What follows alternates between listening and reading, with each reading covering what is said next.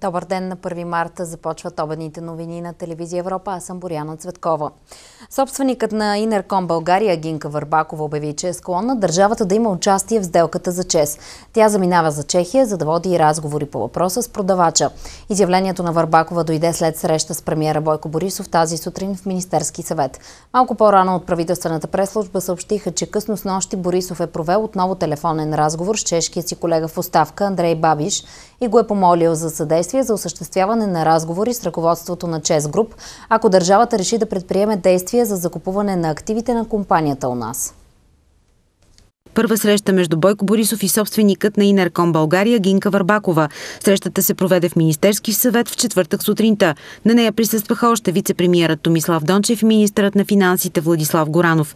След срещата Гинка Варбакова обяви пред журналисти, че е склонна държавата да има участие в сделката за придобиване на ЧЕС България. А финансовият министр Владислав Горанов уточни, че държавата иска да придобие поне контролния дял от активите на ЧЕС. Имах официална среща с господин премиера, на която се запознах с него и той с мен. А, обсъдихме обстановката, която се създаде а, с включването на нашата сделка и притесненията, които изразяват всички. Водихме разговори за това, че премиерът желая да има пълен контрол върху сделката, която сключваме и върху компанията, която ще придобиеме заминавам за Чехия, за да мога да разговарям с продавача и за възможностите, по които мога да се случи това. За да може да бъде гарантирана сигурността на крайните потребители. Това са вече разговори, които ще водим в ЧЕС с продавача. Преди това не бих могла да коментирам каквото и да е било. Искам да кажа, че финансирането е напълно публично и то ще стане ясно за всички, че става дума за финансиране от международни банки, които ще, напра... ще подкрепят сделката заедно с наше участие, разбира се. Няма участие на български банки в финансирането. Ако това ще успокои крайните потребители, да, склонна съм държавата да има участие в сделката, склонна съм да прехвърля договора, който имам, стига продавача да бъде съгласен на това. Това са разговори, които ще предстоят. Не, заминавам като представител на моите компании, за да запозная продавача с създалата си обстановка и да водя разговори с него по договора, който имаме. Ние заявихме ясно воля, че искаме да участваме в тази сделка по един или по друг начин. Ако е, чешката страна се съгласи, продавачите се съгласат, държавата е, има възможността през е, една или друга форма, било през средства от бюджета, било през частно придобиване, в смисъл през някои от енергийните компании да влезе в подобна сделка, но сами разбирате и това, което се коментираше през цялото време. Тук говорим за една сделка готвена извън държавата с повече от година и половина история между частни субекти. Ние се включваме на етап, в който имаме подписан договор за продажба и сами разбирате, че сме в деликатната ситуация да зависим от волята на две независими от влиянието на държавата частни субекти. В сряда вечерта Бойко Борисов е разговарял отново с чешкия си колега Андрей Бабиш във връзка с делката за ЧЕС, съобщиха от правителствената преслужба. Той е помолил Бабиш за съдействие за осъществяване на разговори с ръководството на ЧЕС Груп, в случай, че българската държава реши да придобие активите на ЧЕС. От своя страна чешкият премьер е обърнал внимание на това, че договори вече са били подписани. Бабиш е поискал от ЧЕС Груп, чието собственик на 63% е чешката държава, доказателства, които да разсеят притесненията около сделката. От компанията твърдят, че са извършени проверки на купувача и източниците на финансиране, които не са показали проблеми. И Борисов и Бабиш са заявили, че нямат и не са имали каквато и да е връзка с сделката или дружеството купувач, решенията за които са взети от съвета на директорите на ЧЕС Груп. И двамата ще следят внимателно проверките около сделката да бъдат доведени до край. А днес след обед две парламентарни комисии, тази по енергетика и Комисията за контрол над специалните разузнавателни средства, заедно поемат случая. Ще бъдат изслушани всички институции, натоварени с проверката на сделката, НАП, Комисията по финансов надзор, ДАНС, КЕВър и КЗК. На изслушването е поканена и Гинка Върбакова или друг представител на фирмата купувачи Инерком България. Държавата не може толкова лесно да стане собственик на ЧЕС. Основната и последна дума има чешката компания. Това коментира в студиото на Свободна зона с Георги Коритаров енергийният експерт Атанас Тасев по повод днешната среща между министър-председателя Бойко Борисов и Гинка Върбакова, на която премиерът поиска държавата да има участие в сделката, за да може да бъде осигурена сигурността на крайните потребители.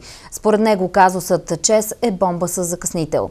Невинно пострадала, така коментира оставката на Теменушка Петкова, енергийният експерт. Възниква обаче проблем, кой да бъде собственика, защото държавата не може да бъде собственик. Значи очевидно Български енергиен холдинг ще се яви като купувач или НЕК ще се яви като купувач. Но ако НЕК се яви като купувач на дружеството, тогава ще влезем в противоречие с още втория енергиен пакет който не допуска вертикално на интегрирани... Европейския съюз. Точно така, който не допуска вертикално интегрирани дружества. Така че толкова много... А Българския енергиен холдинг? Български енергиен холдинг е собственик на държавната част на енергетиката. Значи в холдинга влизат НЕК, влизат Мини Марица Изток, влизат ТЕЦ-2, влиза АЕЦ Козлодуй и централите на НЕК. Те са е, добре, почи... кой ще бъде тогава собственик? Ами ето, виждате, че казус върху казус възниква. Т.е. не е така просто българската държава да, да, да купи. Кой подведе премиера? Кой О, го вкара в този капан? Защото това е капан класически. Категорично е капан, категорично е капан. Аз мисля, че преди да бъде финализиран има повече, повече възможности. Е въпрос на добра воля на двете страни, но пак повтарям, последна дума има е, чешката Чес Груп. За да се успокоят спекулациите с РП-тата, държавата трябва да има блокираща квота в тях. Това обяви в парламента председателят на парламентарната група на Обединените патриоти Волен Сидеров. Той подчерта, че начините за получаване на такава квота трябва да бъдат посочени от правителството. Сидеров обвини БСП, че използват сделката за чеса, за да атакуват премиера. Лидерът на ДПС Мустафа Карадая не се ангажира с категорично мнение какво трябва да се направи в момента по казуса ЧЕС и призова отново да се анализират всички гледни точки. Аз поддържам тезата, че държавата трябва да присъства в ЕРП-тата, не само в ЧЕС и в другите, че трябва да има блокираща квота. Това е моя теза. Аз се казах вече няколко пъти, преди години съм повтарял. Какво може да се направи по въпроса? Трябва да кажа Министерски съвет, премиера, министрите, които отговарят по този ресор. И тогава вече мисля, че ще се успокоят и всякакви спекулации, които сега по негов адрес върват. Защото да ви кажа, БСП е яхна тази тема. БСП ги нямаше, когато съжалявам, че трябва да изтъкна пак себе си, но аз съм водил тази битка за отвоюване на РП-тата. БСП ги нямаше. По време на тяхното управление 2005-2009 с премьер Станишев те не си мръднаха пръста да направят нещо, държавата да се върне в ЕРП. И сега просто използват една сделка, за да атакуват премиера и правителство, но според мен не е коректно това. Видим какви са точно намеренията и тогава да се произнесем. Сега в момента само чухме едно изявление. Нека да се запознаем с фактите. А добре ли е тази идея държавата да влезе в дружеството? Не очаквайте от нас да коментираме предположението. Колеги, дайте сериозните въпроси да не ги решаваме в коларите на парламента. Има комисия в 2015, ще чуете нашето мнение, ще разберете за какво става въпрос. Благодаря ви. БСП проведоха среща с чешкия посланник Душан Штраух. Корнелия Нинова му връчи папка с въпроси относно сделката за продажбата на електроразпределителното дружество. Очаквано тя отправи нови критики към правителството и обяви, че започват подписка за разваляне на сделката, която ще ли да внесат в съда. От своя страна посланникът на Чехия обяви, че няма никаква информация за договора за продажбата на ЧЕС. Нямам никаква информация относно подписването на този договор. Получих писмо с въпроси отправени към моето правителство. На срещата казах, че докато чешкото правителство управляваше активите на електроразпределителното дружество, нямаше никакви проблеми, всичко беше модернизирано.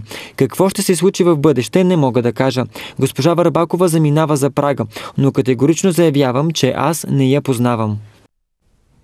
Перспективата пред страните от Западните Балкани и възможностите за инфраструктурна и дигитална свързаност в региона ще обсъждат на работна среща в София ръководството на Европейската комисия и лидерите на държавите от Западните Балкани. Министър-председателят Бойко Борисов вече се срещна с премиера на Черна горя Душко Маркович и с президента на Косово Хашим Тачи. Подробности ще научим от Петя Ларионова. Добър ден, Петя!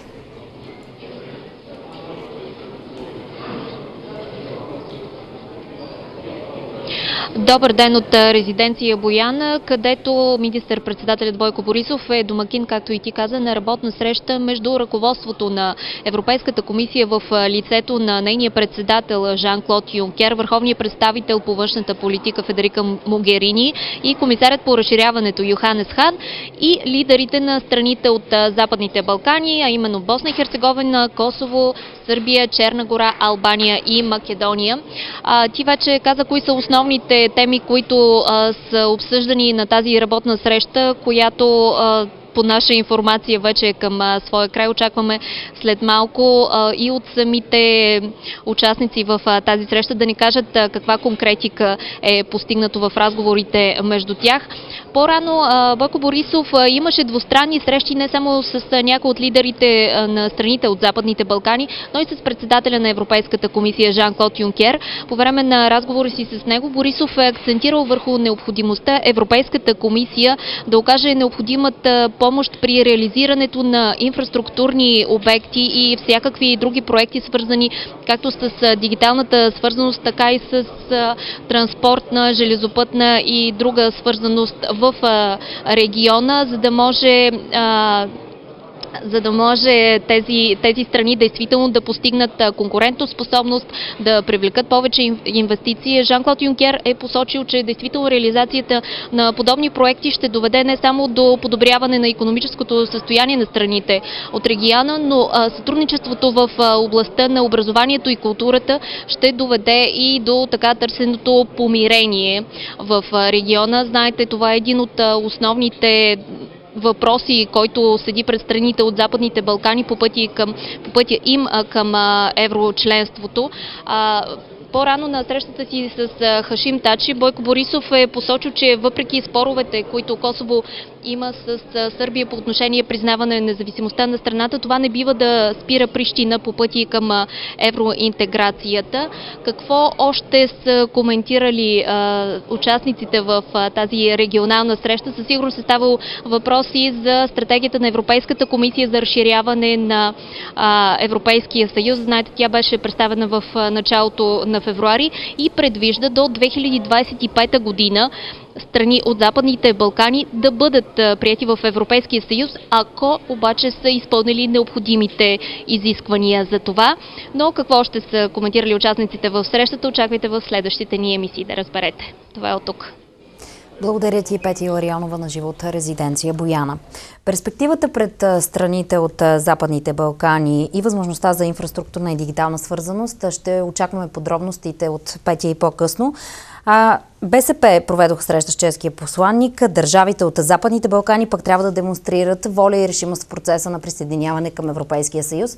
Те трябва да дадат своя принос за подобряване на сигурността и стабилността в съюза, коментира премиерът на Сърбия Ана Барнавич. Страните от Западните Балкани трябва да покажат ясно, че могат да допринесат за стабилността, силата и сигурността на Европейския съюз, ако искат да се присъединят към блока. Това каза в интервю за Ройтер с премерът на Сърбия Ана Бърнабич. Тя акцентира, че страната им може да заеме водеща позиция в този процес. В стратегията на Европейския съюз за разширяване по посока Западните Балкани бе посочена пожелателна времева рамка до 2025 година за присъединяване присъединяване на първите от шесте страни от региона, като Сърбия и Черна гора се смятат за най-напреднали. Смятам, че Балканите са важни за дългосрочните стабилност, сигурност и просперитет на Европейския съюз. Имаме взаимно разбиране за важността в двете посоки. Тъй като някои държави членки на съюза изразяват опасения от разширяването, смятам, че Балканите трябва да покажат, че могат да допринесат равностойно за един по-стабилен и сигурен Европейски съюз. Ние от Западните Балкани и по-конкретно Сърбия носим отговорност за този процес. Сърбия очаква да подпише още едно споразумение за финансиране с Международния валутен фонд до средата на тази година. Международният валутен фонд е напълно съгласен с нашите цели за следващото споразумение. Фокусирали сме се върху по-голям и динамичен растеж и структурни реформи, които да го обезпечат. Нуждаем се от най-малко 4% годишен растеж на брутния вътрешен продукт, за да достигнем средното равнище в Европейския съюз. Сърбия успешно завърши тригодишна кредитна програма за 1 милиард и 200 милиона евро от Международния валутен фонд през февруари.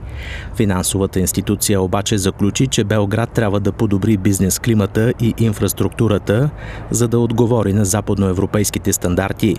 Бърнабич уточни, че правителството ще стартира преговори с Международния валутен фонд за новото споразумение през март или април.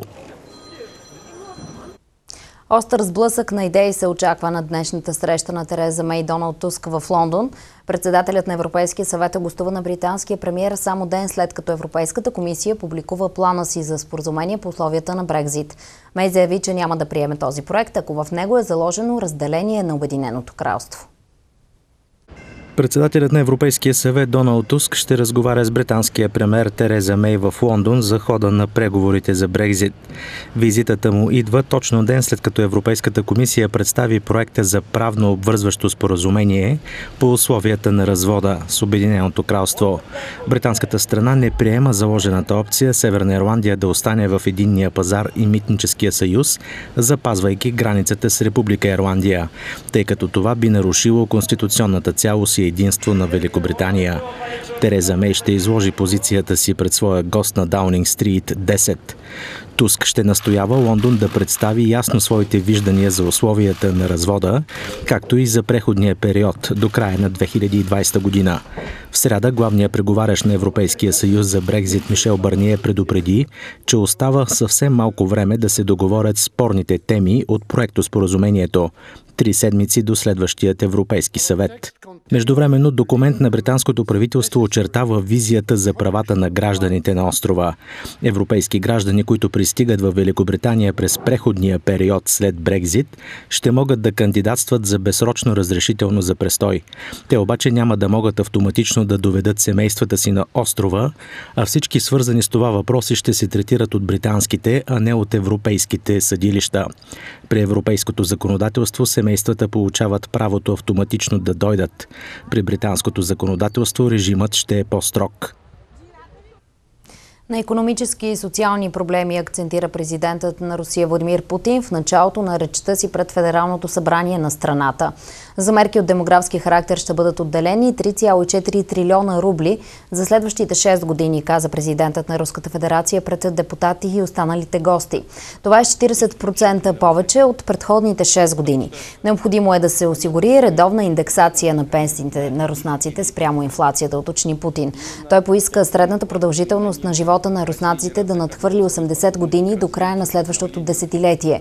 Президентът постави като цел увеличение на брутния вътрешен продукт на глава от населението с 1,5 на 100 за следващите 6 години. За да се развиваме динамично, трябва да разширим пространството на свобода във всички области, да укрепим институциите на демокрацията, местните власти, структурата на гражданското общество, съдилищата, да бъдем отворени към света, към нови идеи и инициативи, каза още Владимир Путин.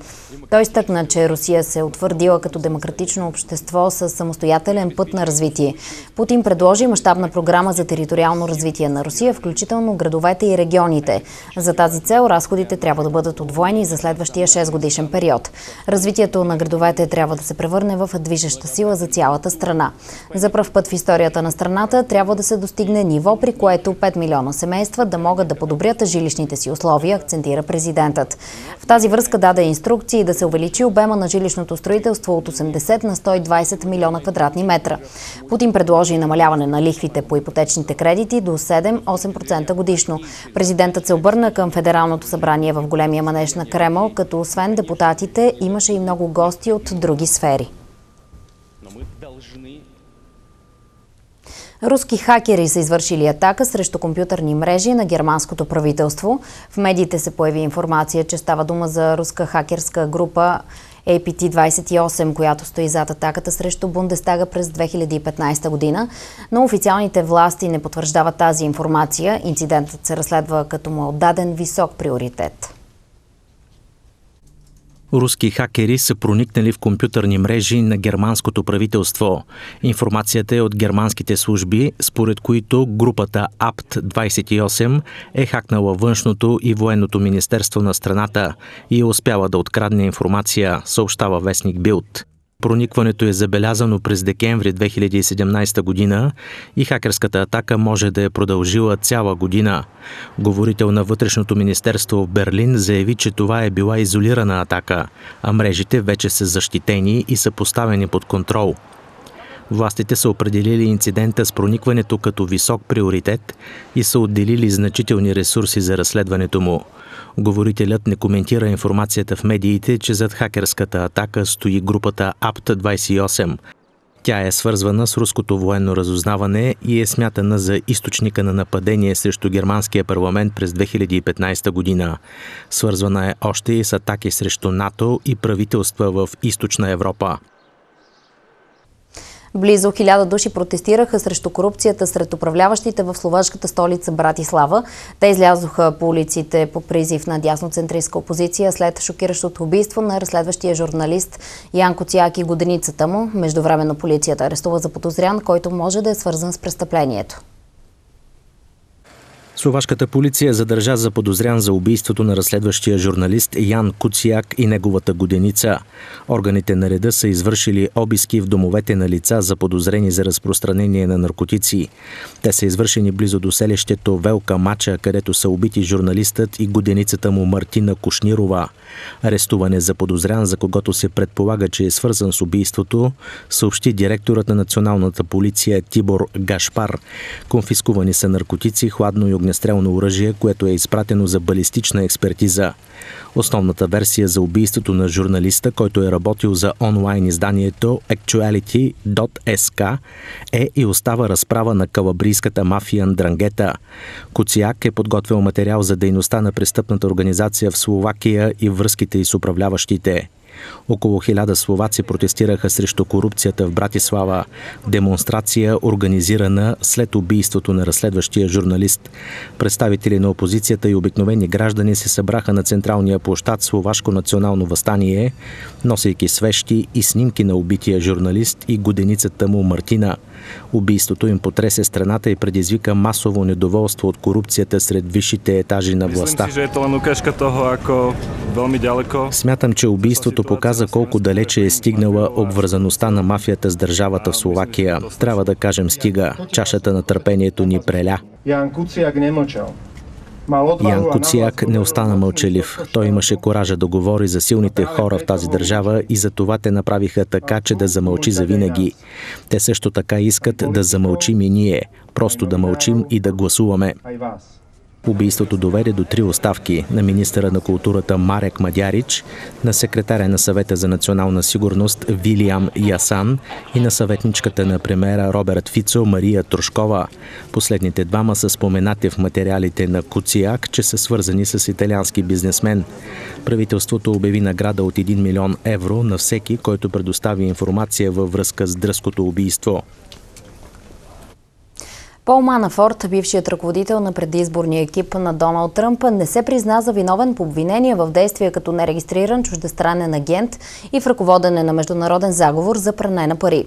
Формалното отхвърляне на обвиненията стана на кратко встъпително заседание по делото в Федерален окръжен съд във Вашингтон. Съдята постанови същинския процес да започне на 17 септември, т.е. по-малко от два месеца преди междинните избори за Конгрес. Миналата седмица Рик Гейтс, бивш партньор в бизнеса на Манафорт и също бивш член на кампанията на Тръмп, се съгласи да сътрудничи на специалния следовател Робърт Мълър, който разследва евентуална руска намеса в изборите в Съединените щати. Гейтс е решил да свидетелства като част от сделка да му бъдат снети обвиненията в лъжесвидетелство и заговор срещу Съединените щати. Смяташе се, че ходът на Гейтс ще накара и Манафорта да сключи сделка с разследващите, но в петък той заяви, че поддържа тезата си за невинност по новите обвинения. Мразовитото време продължава да сковава европейския континент. Растат и жертвите заради обилния снеговалеж и полярен студ. Много хора, главно бездомници, са изложени на риск от измръзване. Синоптиците прогнозират студената вълна да продължи до края на тази седмица. Студената вълна в Европа причини смъртта на най-малко 47 души. По-голямата част от жертвите са бездомници. Така нареченото чудовище от изтока е довело до смъртта на 18 души в Полша, 6 в Чехия, 5 в Литва, по 4 във Франция и Словакия, по двама в Италия, Румъния, Сърбия и Словения и по един в Холандия и Испания. В Естония студът е взел общо 7 жертви този месец. Температурите на много места паднаха до между минус 10 и минус 20 градуса. Обилни снеговалежи и виелици обхванаха Великобритания и Ирландия. Много пътища и магистрали са затворени, а тези, по които продължава да се осъществява движение, са трудно проходими. Има сериозни нарушения на въздушния и железопътния транспорт. Хиляди училища са затворени. В Ирландия много хора са обсъдили магазините, за да се запасят с храна с наближаването на зимната буря. Тя ще причини най-обилните снеговалежи в страната от 1982 година. Студения фронт е причинен от скок в температурите и атмосферното налягане високо над Арктика, явление познато на метеоролозите като внезапно стратосферно затопляне. То отслабва въздушните течения, които носят топъл въздух от Атлантика към Ирландия и Великобритания. А обстановката в страната след обилния снеговалеж постепенно се нормализира. Жълт код за ниски температури е в сила за всички области. Тази нощ в София е измерена най-ниската температура от 1965 година насам. Термометърът е отчел 16,6 градуса под нулата. Навсякъде температурите ще са между минус 10 градуса и минус 15, на места и по-низки. Максималните температури също са отрицателни. Пътната обстановка обаче се подобрява, продължава да има и места с ограничения. Възстановено е движението на всички мотори моторни превозни средства по магистрала в участъка от Ямбол до Бургас, който беше парализиран с часове. Отворен е и Ришки проход, ограничено е движението за всички моторни превозни средства по автомагистрала Траки от Карнобат до Бургас в двете посоки. Снегът в цялата Бургаска област спря. Забранени за всички превозни средства са Дюлински, Троянски, Върбишки и Златишки проход. От областно пътно управление Перник съобщават, че временно се ограничава движението за моторни превозни средства над 12 тона двупосочно по пътя Перник-Гюешево поради обилен снеговалеж, силен вятър и снегонавявания. От пътното управление в Сливен временно са ограничили движението на превозни средства над 12 тона на разклона за твърдица Петулъчката. Ограничено е движението за тирове над 3,5 тона по път Шумен-Силистра, само в посока Силистра, отново поради обилен снеговалеж. От областно пътно управление Варна съобщават, че поради снегонавявания временно ограничено движението за моторни превозни средства над 12 тона по пътя Варна-Добрич. Влакът София-Бургас е спрял в полето край Айтос от 5 часа тази сутрин. Тогава е спряло и отоплението във влака. В около 7 вагона е имало доста пътници. Предполага се, че причината за случилото се е замръзнала стрелка. От Бургас е изпратен дизелов локомотив, който да извози пътниците до крайната гара.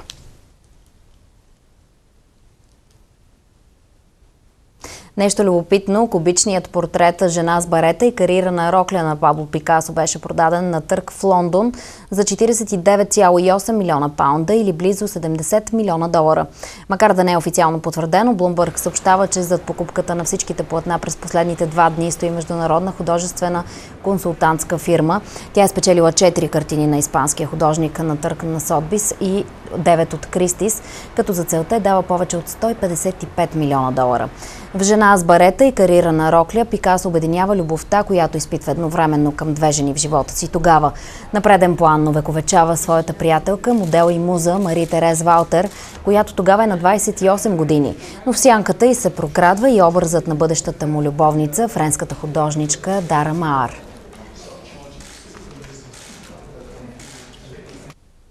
Американската актриса Меган Маркъл се появи официално за пръв път на публично събитие като член на така наречената кралска великолепна четворка. Тя участва в дискусия с годеника си британския принц Хари, брат му принц Уилям и съпругата му Кейт, херцогиня на Кембридж. Това стана на форум на благотворителната кралска фундация, основана през 2011 година от Уилям и Хари. Британските принцове Уилям и Хари и половинките им, херцогиня Катрин и Меган Маркъл, зарадваха почитателите на кралското семейство с първа съвместна официална поява. Двете кралски двойки взеха участие в откриването на годишния форум на Кралската фундация, основана през 2011 година от Уилям и Хари – Любопитното в случая е, че в официалното събитие се включи годеницата на принц Хари Меган Маркъл, която все още не е член на британското кралско семейство. Тя използва случая за да акцентира на правото на глас на жените в съвременното общество. Маркъл ще стане четвъртия патрон на кралската фундация. Едва ли е изненадващо, че красивите половинки на британските принцове откраднаха вниманието на форума, особено като се има предвид, че това е първата им съвместна официална проява. Звездата от сериала Костюмари беше избрала тъмно-синя рокля без ръкави, докато херцогиня Катрин се беше спряла на рокля за бременни. И за двете кралски двойки предстоят щастливи събития в следващите месеци. През април се очаква да се роди третото дете на Уилям и Катрин. На 19 май пък е сватбената церемония на принц Хари и Меган Маркъл. Те ще сключат брак в параклиса Сейнт Джордж на замъка Уиндзор. На церемонията покани са получили и петте дами от Spice Girls, разкриха медии на острова. Дали певиците ще имат изпълнение пред гостите, все още не е ясно. Това бяха по-важните теми до този час. Приятен ден!